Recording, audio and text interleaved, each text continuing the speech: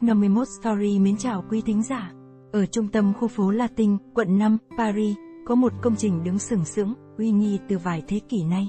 Đó là điện Pantheon với mái vòng cao vút, nổi bật trên nền trời. Ở mặt tiền, phía trên cao tòa nhà có khắc dòng chữ trang trọng, Tổ quốc nhớ ơn những con người vĩ đại. Đây là nơi vinh danh các anh hùng, tướng lĩnh đã ngã xuống để bảo vệ nước Pháp và là nơi vinh danh các vĩ nhân của đất nước. Nhà bác học Marie Curie, người phụ nữ đầu tiên được yên nghỉ trong điện Pantheon ở Paris. Vì sao nữ bác học Marie Curie khi mất được chôn cất trong quan tài lót chỉ dày 2,5 dặm ly mét? Đó là một bí ẩn mà nhiều người tò mò. Sau đây X51 Story sẽ cùng quý thính giả khám phá điều bí ẩn này nhé. Marie Curie ngày nay được nhớ đến nhờ công trình tiên phong về phóng xạ, vốn không chỉ mang về cho bà hai giải Nobel mà còn giúp nữ khoa học gia được công nhận là mẹ đẻ của vật lý hiện đại. Mặc dù các nghiên cứu về nguyên tố phóng xạ polonium và radium để lại một di sản khoa học trường tồn, chính những chất phóng xạ này cũng tác động lâu dài tới cơ thể bà, theo IFL Science. Marie Curie không chỉ là người phụ nữ đầu tiên đoạt giải Nobel mà còn là người phụ nữ duy nhất được trao giải ở hai lĩnh vực khác nhau. Năm 1896, nhà vật lý người Pháp Henri Becquerel đã phát hiện ra rằng muối uranium phát ra các tia tương tự như tia X ở khả năng xuyên qua các vật thể. Phát hiện này đã truyền cảm hứng cho Query khám phá những phát hiện của Becquerel như một phần trong luận án nghiên cứu của bà. Cùng với chồng mình là nhà khoa học Pierre Curie, Marie Curie bắt đầu quá trình nghiên cứu và phát hiện ra radium và polonium, hai nguyên tố phóng xạ mới, vào năm 1898. Những kết quả này đã giúp vợ chồng nhà Curie được trao một nửa giải Nobel vật lý năm 1903. Nửa còn lại thuộc về Becquerel. Sau đó, vào năm 1911, sau khi trải qua nhiều biến cố cá nhân, Pierre Curie đột ngột qua đời năm 1906. Marie Curie được trao thêm một giải Nobel hóa học vì đã phân tách được radium tinh khiết. Bà tiếp tục công hiến nghiên cứu của mình để nghiên cứu tính chất hóa học của các chất phóng xạ, cũng như ứng dụng của chúng trong y học. Trên thực tế, nếu không có các thành tựu nghiên cứu của Marie Curie, các phương pháp điều trị ung thư của chúng ta có thể sẽ không phát triển như ngày nay. Đáng nói, mặc dù luôn sử dụng các biện pháp phòng ngừa, việc Marie Curie liên tục tiếp xúc với các chất phóng xạ trong thời gian dài đã khiến bà gặp hậu quả xấu về sức khỏe. Marie Curie qua đời vào ngày 4 tháng 7 năm 1934 vì bệnh thiếu máu bất sản do tiếp xúc với bức xạ.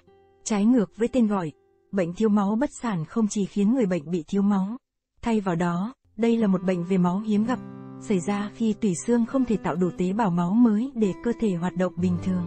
Khi Marie Curie qua đời, thi thể của bà bị nhiễm phóng xạ với mức độ cao đến mức bà phải được an nghỉ trong một chiếc quan tài lót trì.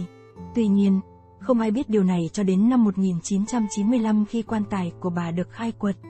Vào thời điểm đó, chính quyền Pháp muốn chuyển vợ chồng Marie Curie đến lăng mộ quốc gia của nước này, Pantheon, để vinh danh những đóng góp của họ cho khoa học và là biểu tượng trong lịch sử nước Pháp. Các quan chức chịu trách nhiệm khai quật đã liên hệ với cơ quan bảo vệ bức xạ của Pháp với những lo ngại về bức xạ còn sót lại và yêu cầu hỗ trợ để bảo vệ công nhân trong nghĩa trang.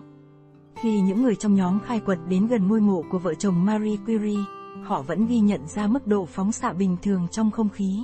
Tuy nhiên, mức độ phóng xạ đã tăng lên khi ngôi mộ được mở ra, mặc dù không phải với lượng lớn.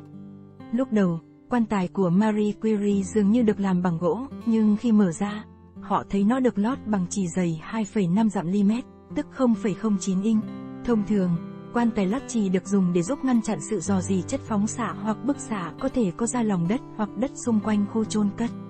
Ngoài ra, chì là một nguyên tố tự nhiên không độc hại và không phản ứng, làm cho nó trở thành một lựa chọn an toàn và hiệu quả cho mục đích này. Mặc dù tất cả các thi thể cuối cùng sẽ bị phân hủy, nhưng quan tài lót chỉ có thể giúp đảm bảo quá trình này diễn ra an toàn và sạch sẽ nhất có thể cho cả người quá cố và những người xử lý thi thể. Với riêng trường hợp của Pierre Curie, do qua đời vào thời điểm các biện pháp bảo vệ chống lại bức xạ chưa được phát triển, ông được chôn cất trong một quan tài bằng gỗ bình thường, mặc cho cơ thể ông cũng bị nhiễm phóng xạ rất nặng. Sau đó, cuộc kiểm tra thi hài của Marie Curie cho thấy rằng bà vẫn được bảo quản rất tốt, và chỉ nhiễm bức xạ alpha và beta ở mức độ nhỏ. Theo tạp chí Journal of British Society for the History of Radiology, điều này có thể là kết quả của các biện pháp Marie Curie từng thực hiện để hạn chế tiếp xúc với bức xạ vào những năm cuối đời. Được biết, sau khi khai quật, các nhà chức trách của Pháp quyết định chuyển thi hài của hai vợ chồng nhà khoa học Curie vào quan tài bằng gỗ để chôn cất tại Pantheon, do các nhà khoa học không nghĩ rằng lượng radium tìm thấy trên thi hài của họ có thể gây hại cho người tiếp xúc.